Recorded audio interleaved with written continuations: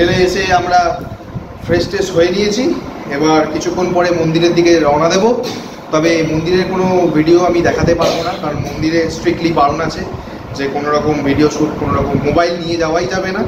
আরও যেসব মানে সিনগুলো আছে যেগুলো দেখানো যায়, যেগুলো কোনো রেস্ট্রিকশান নেই, সেগুলো দেখাবো।